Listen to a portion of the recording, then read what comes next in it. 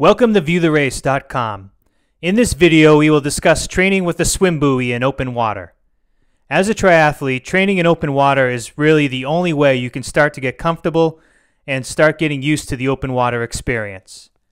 Now, in order to do this safely, you should never swim alone and always use a swim buoy. Now, what is a swim buoy?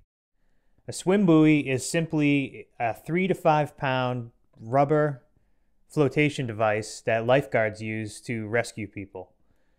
For our purposes, we are going to tie this buoy to our ankle and let it float behind us. And then if we need it, it's there waiting for us so we can rest on it.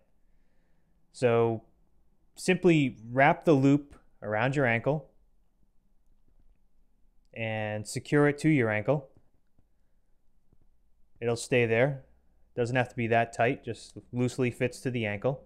And then once it's on the ankle, you walk into the water, throw your buoy behind you, and start swimming. Basically, the buoy floats behind you. There's just a slight tug on your ankle. It's nothing that you don't get used to very quickly. Pretty soon, you won't even notice it's there. And the strap just goes from your ankle and floats behind you to the buoy.